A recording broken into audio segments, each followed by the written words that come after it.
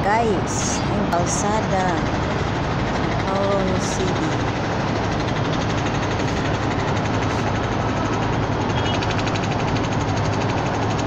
Maingay yan. ah.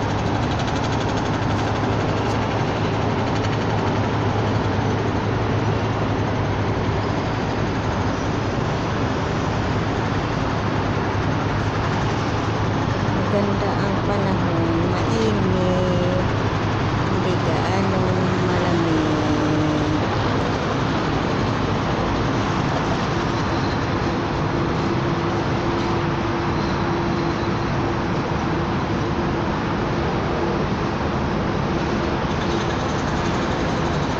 Ayan o. Old airport yan sa Kowloon City.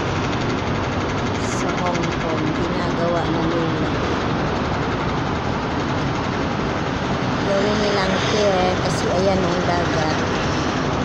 Ayan.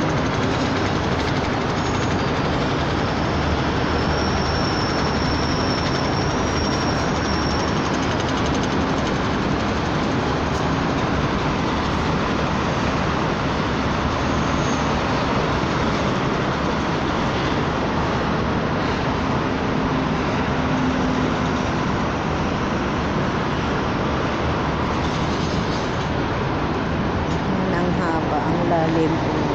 Nasa 36, ay nasa 32 floor pala ako. Ayan. Nakakatakot kaya yan.